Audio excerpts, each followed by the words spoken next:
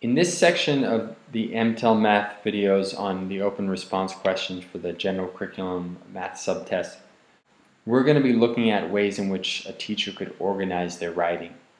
Every teacher is different. Some teachers are really good at organizing it. They don't need something like this. But not me. I actually think most teachers, you know, would benefit from this. Um, and so this is just going to be a graphic organizer here's what, what I've done. I've made three columns.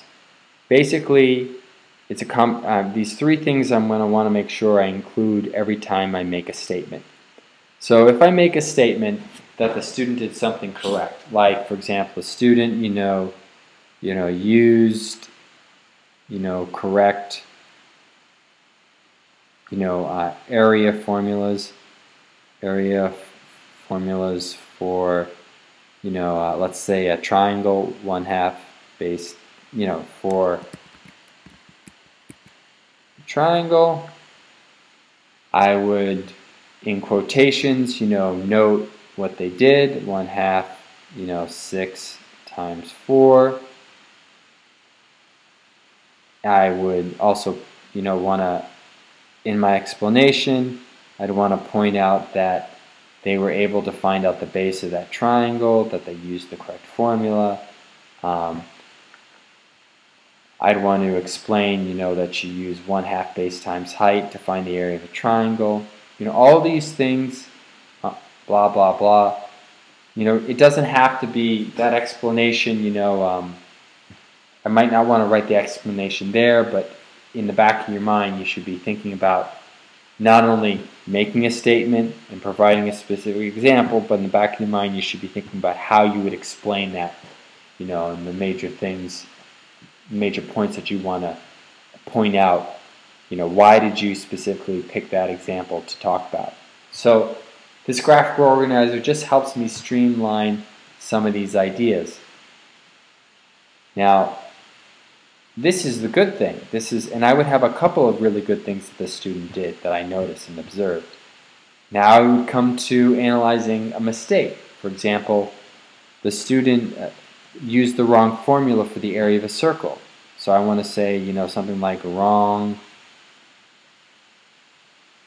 formula for, you know, um, area of circle.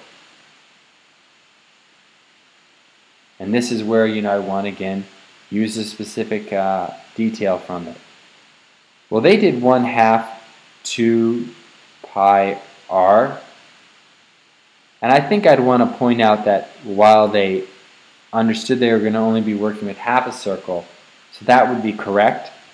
They messed up the formula.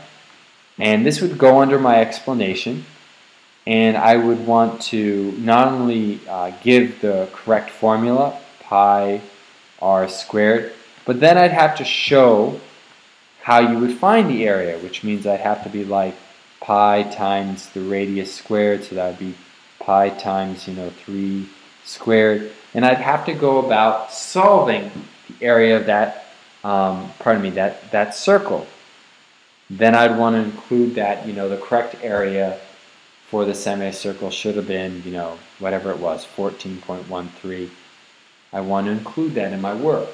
So this graphic organizer is just here to uh, note down some of the things that they did correctly with specific relevant examples and some of the things they did wrong with specific uh, relevant examples. And you know, you want to make sure that you show your work somewhere so that uh, you can actually uh, present that to the graders so they know that you know how to apply this stuff. Here's another uh, graphic organizer because my handwriting is terrible. but um, here's another way of thinking about it. I'd like to add a summary, an intro. Some teachers don't do that. I think it's always good to summarize what you're going to be doing. So I might be like, in this essay, I'm going to correct errors and misconceptions in the student's work. I might do that.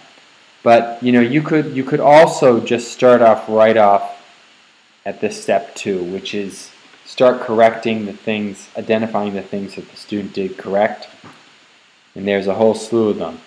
You know, they did uh, they used the right formula for the area of a rectangle. So that's one thing.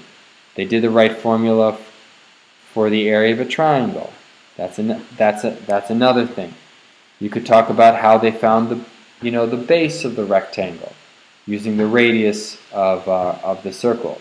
You could talk about how they found out the height of the triangle by subtracting the three and um, by adding up the, the measurements that were given and finding out that missing height. Definitely include uh, all the positive things. Now we go to um, identifying mi mistakes and misconceptions. Oops, misconceptions. Anyways, this is the time where you you know you would talk about um, some of the mistakes they did, like using the wrong formula where they should have used pi r squared, or talk about that decimal multiplication mistake, you know, involving 3.14 times 3. Or you could talk about a ratio mistake where they came up with a part-total relationship of 3 fourths, where 3 fourths, while getting to the 3 fourths they did correctly, the 3 fourths itself doesn't really make sense given the shape that you're presented with. These are all things in which I would want to provide specific examples that reinforce what I'm stating and I'd want to, um, for each one of these, show and explain how I get to the correct answer. Now there's, there's this section here which says provide that alternative solution. This is where you provide that creative, that creative way of approaching this problem that helps enhance the student's understanding of the work, of the problem itself and the core problems. You have to show your work. You have to be able to explain the example. And I would also add explain why it's going to help, how, how and why it's going to help the student understand that math concept. And then you might want to include, uh, finally you want to include an answer sentence that reinforces um, how this method gets you back to um, the, you know, the question that the student had to do. So I might, if I was, if I was doing the method that we did before on thinking about this in terms of part to whole, I might close it off with saying, you know, approximately one third of the entire shape enclosed by the semicircle is um, approximately one third of the entire shape enclosed by the hole is the semicircle. I, I would I would want to um, close it off by, no matter how creative my idea is, I want to make sure that I give that answer sentence which has that answer in it and circle it so the grader knows that my method does work that it helps it will help us all get to the correct answer. And then I think finally you want to have some sort of summary. In the summary you want to touch upon the major themes, the major things that the student did correct, and the major things that the student did wrong, and maybe you know just restate you know your alternative solution uh, so that um, we could go back to, so that you know you're just restating your alternative way to solve it.